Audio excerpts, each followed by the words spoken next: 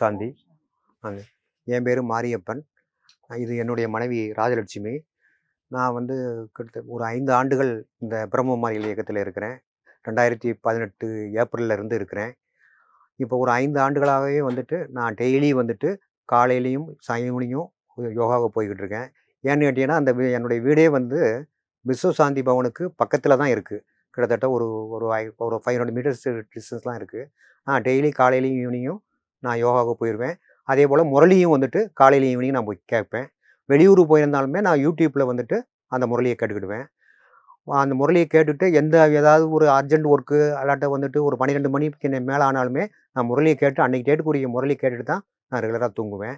அதனால் இதில் வந்து எனக்கு வந்து இந்த இயக்கத்துக்கு வந்த பிறகு எனக்கு உடல் ஆரோக்கியமாக இருக்குது அதே நேரத்துக்கு மனசும் வந்து ரொம்ப அமைதியாக இருக்குது அதே நேரத்துக்கு வந்து எல்லாத்தையுமே வந்துட்டு இந்த இயக்கத்துக்கு வந்த பிறகு நான் உடம்புன்னு பார்க்க மாட்டேன். முன்னாடிலாம் பார்த்தீங்கன்னு தெரிஞ்சதுன்னா எல்லாரையும் வந்து உடம்புங்கிற ஒரு எண்ணத்தில் தான் பார்ப்பேன். இந்த இயக்கத்துக்கு வந்த பிறகு எல்லாத்தையும் வந்து ஆத்மான் தான் பார்ப்பேன். நானும் வந்து ஒரு ஆத்மஸ்வரூபமாக நினச்சிக்கிட்டு எல்லாத்தையுமே வந்து ஆத்மான் தான் பார்ப்பேன். ஆத்மா நான் இந்த இயக்கத்தில் வந்து நாலு வருஷம் ஆகிடுது. நான் தினமும் தினமும் காலை முரளி கே- தவறாமல் கேட்டுட்டு வந்துடுவேன் கேட்டுட்டு அதுபடி எல்லாம் சா- பாபாவுடைய ஸ்ரீமந்தபடி நடந்து கொண்டு நடக்கிறேன் கோ கொஞ்சம் கோவம்லாம் கோவப்படப்பட அந்த ஐந்து விகாரங்களையும் கொஞ்சம் கொஞ்சமாக விட்டுட்டேன். இன்னும் கொஞ்சம் இருக்குது. இன்னும் கொஞ்சம் நாள் சில நாளில் சரியாயிடும் அப்படின்னு நினைக்கிறேன். பாபா ஆகிடும் கூட இருக்கிறாரு. என் கூட எப்பவும் நான் பாபா இருக்கிறான்னா என்ன எங்கே வெளியே போனாலும் ஒரு இடத்துக்கு போனாலும் பாபாட்ட சொல்லிட்டு தான் அவர் கூட வந்து தான் என் கூட வந்து எல்லாத்தையும் வழிநடத்துறாரு அவர் அவரை அவர் அவரை நம்ம முழுமையா முழுமையாக நம்ப நம்பிக்கொண்டு இருக்கேன். முரளி கே மனசுல ஏதோ ஒரு குழப்பம் வந்துச்சுன்னா அந்த அந்த குழப்பத்துக்கு அடுத்த நாள் முரளியில பா- அது கரெக்டாக வந்துடும் எனக்கு. அந்த முரளியினுடைய வந்து என்னை எனக்கு தீர்த்து கரெக்டாகிடும் இது வந்து இப்படி தான் இருக்கும்னு பாபா மூலமாக எனக்கு தெரிவிப்பாங்க அதனால எனக்கு முழு நம்பிக்கையோடு நான் யார் எது சொன்னாலும் நான் அந்த இயக்கத்தை விட்டு விலக மாட்டேன். அதனால பாபா ஒருத்தராட்டு நான் அவ அவரை தான் எப்பவும் நினச்சி கொண்டே இருக்கேன். இப்போ வந்துட்டு எனக்கு ஏதாவது வந்து அன்றாட வாழ்க்கையில் ஏதாவது பிரச்சனைகள் ஏதாவது வந்துட்டு ஒரு சொல்யூஷன் கேட்கணும்னா நான் மனசுலேயே நினச்சிக்கிட்டு இருப்பேன். ஆனால் அன்னைக்கு டேட்டுக்கு நான் முரளி கேட்கும்போது அதுக்குரிய தீர்வு வந்து அந்த முரளி மூலமாக அப்படியே வந்துடும் அதனால் வந்து எனக்கு வந்து இந்த முரளி மேலே ஒரு அசைக்க முடியாத நம்பிக்கை இருக்குது அதனால் எந்த பிரச்சனை வந்தாலுமே வந்து முரளியில் எனக்கு அன்றைக்கி வந்துடும் அதனால் நான் ரெகுலராக முரளி கேட்குற பழக்கத்தை நான் வந்து பழகிக்கிட்டேன். இந்த இயக்கத்தை வந்து நான் இறைவன் தான் நடத்துனாங்கிறதுக்கு எனக்கு க- நூறு சதவீதம் வந்து ஒரு ஆணித்தரமான எனக்கு நம்பிக்கை இருக்குது ஏன்னு கேட்டிங்கன்னா நானும் வந்துட்டு ஒரு கடந்த இருபத்தஞ்சு ஆண்டுகள் வந்துட்டு வெவ்வேறு இயக்கங்களில் வந்து ஈடுபட்டு அதில் வந்து இறைவன்னா யார்? அது இறைவன் எந்த ரூபத்தில் இருக்கிறாரு? அப்படிங்கிறதெல்லாம் போ நான் வந்துட்டு நிறைய ஆராய்ச்சி பண்ணிக்கிட்டு இருக்கும்போது இந்த இயக்கம் வந்து வரும்போது இந்த இயக்கத்தில் வந்து சக்தி யுகம் திரேதா யுகம் துவார யுகம் சங்கம யுகம் க கலியுகத்தில் சங்கம யுகம் சங்கம யுகம் இப்படி வந்து இந்த சங்க சங்கம யுகத்தில் தான் இறைவன் வந்து குழந்தைகளுக்கு வந்து ஞானத்தை கொடுத்து அவர் வந்து இறைவனோடு தன்னோட சேர்த்து அழைச்சிட்டு போகிறாரு அப்படிங்கிறதுல ஒரு ஒரு வந்து ஒரு ஒரு வழிமுறையை கொடுக்குறாரு. மற்ற இயக்கங்களில் வந்துட்டு இப்படிப்பட்ட வழிமுறைகளே கிடையாது. அவங்க வந்து முக்தி முக்தின்னு தான் சொல்லிக்கிட்டு இருக்காங்க. ஆனால் இந்த இயக்கத்தில் வந்து ஜீவன் முக்தின்னு ஒரு தன்மையை நமக்கு உருவாகி கொடுக்குறாரு. வாழ்ந்து கொண்டு இருக்கும்போதே நம்ம எப்படி வந்து ஜீவன் முக்தி நிலைமையை நம்ம அடையிறது அப்படிங்கிறத ஒரு வழிமுறையை வந்து இறைவன் வந்து அந்த பாபா வந்து அந்த முரளி மூலமாக அந்த மகா வாக்கியம் மூலமாக நம்ம கொடுக்குறாரு. அதனால் வந்துட்டு இந்த இயக்கம் போல் மற்ற இயக்கங்களில் வந்து ஒரு எளிமையான ஒரு இயக்கமாக எனக்கு தெரியலை. இப்போ மற்ற இயக்கங்கள்லாம் பொறுத்தவரையில் வந்து குருமார்கள் குருவை தான் நம்ம வந்துட்டு ஒரு குருங்கிறது என்ன? மனித ரூபத்தில் இருக்க குரு. அவங்கள தான் நம்ம நம்ம நம்பி அவங்களுடைய வழிப்பறை நடத்துகிறோம் இதில் இறைவனே வந்து நான் வந்து உனக்கு வந்து வழிமுறை காட்டுறேன். உங்களை வந்து நான் வந்து என்னோட சேர்த்து அழைச்சிட்டு போக வந்திருக்கிறேன் அப்படின்னு சொல்லிட்டு நீ அவர் உயர்ந்த ஸ்ரீமத். இதில் எனக்கு பிடிச்சதே வந்து ரொம்ப ரொம்ப பிடிச்சது ஒன்று சொல்லணும்னு நினைத்தேன்னா என்னுடைய ஸ்ரீமத்து தான். மற்ற இயக்கங்களில் பொறுத்தவரை இவ்வளோ தூரம் ஸ்ரீமத்துக்கு வந்து முக்கியத்துவம் கொடுக்க மாட்டாங்க. இது உய இந்த இறைவனுடைய வழிகாட்டியாக இருந்து ஒரு உயர்ந்த ஸ்ரீமத்தை கொடுத்து நாம் வந்து இறைவன் வந்து அவரோட சேர்த்து அழைச்சிட்டு போகக்கூடிய ஒரு வழிமுறையை நமக்கு கொடுக்குறாரு. அதனால இந்த இயக்கம் வந்து எனக்கு ரொம்ப ஒரு பிடித்த இயக்கமாக இருக்கிறது. ஒரு தடவை நான் ட்ரெயின்ல போயிட்டு இருக்கப்போ ஒரு ஒரு ஒரு திருநெல்வேலி பக்கத்துல ஒரு ஒரு அண்ணியன் வந்து நான் பாபா முரளியை தான் செல்போன்ல பார்த்துட்டே வந்து படிச்சுட்டே வந்தேன். ஒரு ஒரு அண்ணியன் வந்து நின்றுட்டு இருந்தான். அவன் வந்து என்னையே நோட் பண்ணிட்டு இருந்தான். அதாவது நாங்கள் வந்து ஒரு ட்ரெயினில் வந்து வெளியூர் போனோம்ங்க. வெளியூரில் வெளியூர் போய் இருக்கும்போது இவங்க வந்து கழுத்தில் வந்துட்டு நல்லா பாருங்கள் அது ஒரு ஃபங்க்ஷன் ஒரு ஃபேமிலி ஃபங்க்ஷன் ஒரு மேரேஜ் ஃபங்க்ஷனுக்காக வேண்டி கழுத்தில் நகையெல்லாம் போட்டிருந்தாங்க. அப்படி போய்கிட்டு இருக்கும்போது ஒரு திருடன் வந்துட்டு பக்கத்தில் வந்து நெருங்கிட்டாப்புல. நெருங்கிட்டு வந்த உடனே இவ இவங்க வந்துட்டு முரளியை தான் படிச்சுக்கிட்டு இருக்காங்க. முரளியை தான் படிச்சுக்கிட்டு இருந்த உடனே சரி இவன் பக்கத்தில் இந்த நெருங்குறானே நம்ம நகையைத்தான் பறிக்க வரான்னு ஒரு உள்ளுணர்வாக வந்து பாவாவே அவங்களுக்கு கொடுத்துருக்காங்க. கொடுத்த உடனே வேற ஒன்றும் சொல்லலை. இங்கே பாருங்கள் ஒருத்தன் வந்து நெருங்கிட்டு இருக்கான். நீங்கள் கொஞ்சம் எஞ்சி வந்து ரெடியாக இருங்க அப்படின்னு சொன்ன உடனே நான் அப்போ தூங்குறதுக்காக முயற்சி பண்ணிக்கிட்டு இருக்கேன். அப்படியே தூக்கத்தை விட்டு நான் இவங்களையும் பார்த்தேன் அந்த திருடனையும் பார்த்தேன். அவன் அந்த திருடனுடைய தோற்றம் எல்லாம் நமக்கு தெரியுமில்ல? சரி ரைட்டு இவன் திருட தான் வந்திருக்கான்னு சொல்லிட்டு ஒரு அதட்டம் ஒரு ஒரு ஒரு அதட்டமான ஒரு டோனில் ஒரு கை வால்யத்தில் வான்னு சொல்லிட்டு ஒரு சத்தத்தை கொடுத்துட்டு அவனை முறைச்சி பார்த்த உடனே அவன் அப்படியே நழுவி நழுவி அந்த இடத்த விட்டு போயிட்டான். ஒரு பெரிய ஆபத்துலேருந்து இந்த முரளி படிச்சிருக்கும் போது பாபா வந்து உள்ளுணர்வாக வந்து ஒரு பெரிய ஒரு ஆபத்திலிருந்து தற்காத்து கொடுத்துக்காருன்னா அதை இன்றைக்கும் அவங்க வந்து டெய்லி என்கிட்ட அவங்க உறவினர்கள் எல்லாட்டையும் சொல்லுவாங்க ஏன்ட்டையும் சொல்லிக்கிட்டு இருப்பாங்க. பாபா தான் எங்களை வந்து காப்பாற்றி கொடுத்துருக்காருன்னு. அதனால் வந்து பாபா மேலே அவங்க வந்து ஒரு அசைக்க முடியாத நம்பிக்கை அவங்களுக்கு வந்துருச்சு. இப்போ இந்த பிரம்மகுமாரிகள் இயக்கத்தில் மாணவர்கள் சேர்றது நான் பேராசிரியர் கல்லூரி முதல்வர் கல்லூரி இயக்குனர் என்ற முறையில் எனக்கு முழு தகுதி இருக்குது இப்போ.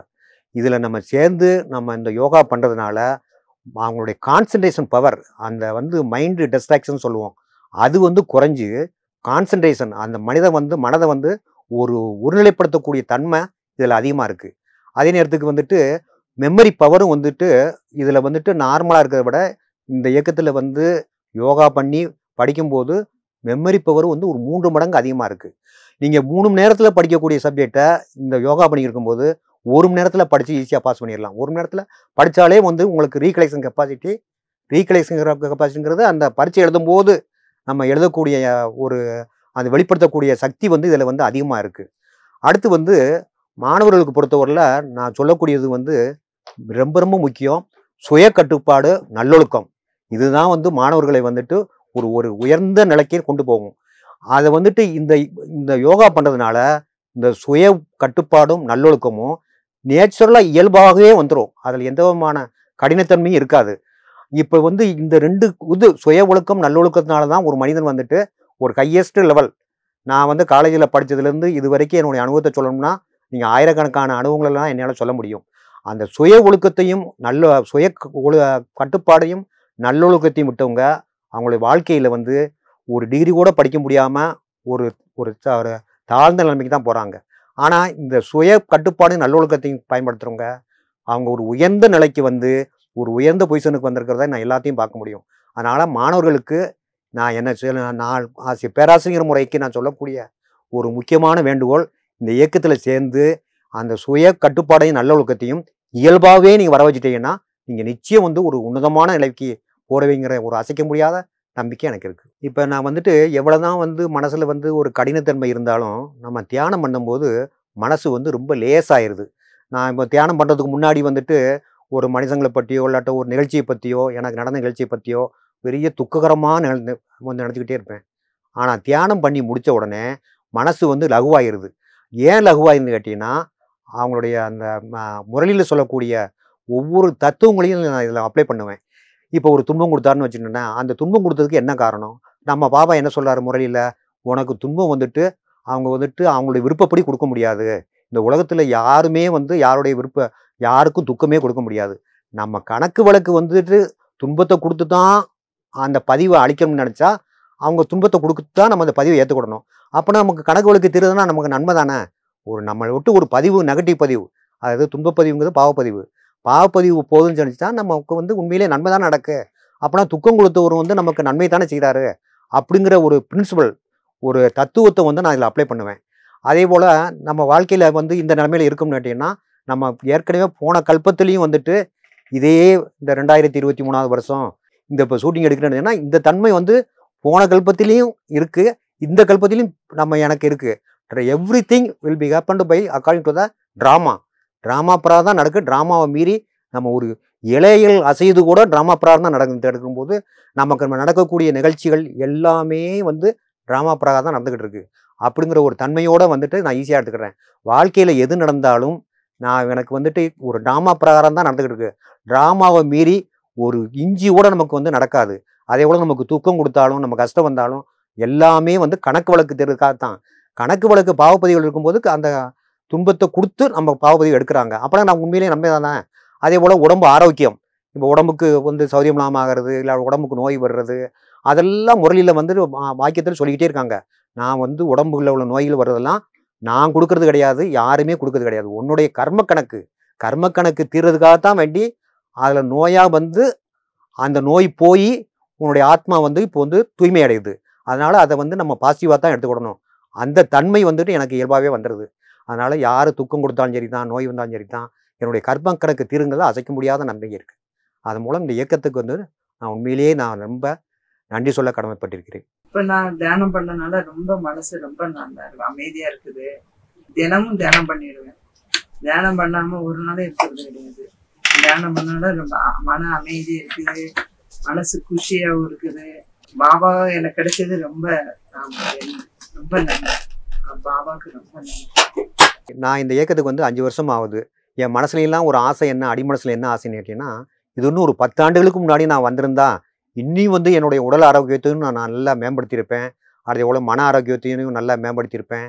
அடுத்து குடும்பத்தையும் நல்ல முறையில் வச்சிருப்பேன்னு சொல்லி ஒரு தீராத ஆசை இருக்குது இருந்தாலும் வந்துட்டு பாபா சொல்கிறது போல் அது யாருக்கு எந்த நேரத்தில் எப்போ கிடைக்குமோ அதுதான் கிடைக்குங்கிறது போல் ஒரு தன்மையை நான் மனசில் ஏற்றுக்கிட்டு நான் இன்னும் இதில் வந்து தொடர்ந்து ஈடுபடுவேங்கிற ஒரு நம்பிக்கையோட இந்த பிரம்மமாதிகள் இயக்கத்தில் இப்படி ஒரு ஒரு ஷேர் பண்ணக்கூடிய என்னுடைய த- அனுபவத்தை ஷேர் பண்ணுவதற்கு ஒரு வாய்ப்பு கொடுத்தமைக்கு அவர்களுக்கு மிக்க நன்றியை கூறி ஏன்னா அவங்களுக்கு வணக்கத்தை செலுத்தி தெரிவித்துக் கொள்கிறேன். ஓம் சாந்தி.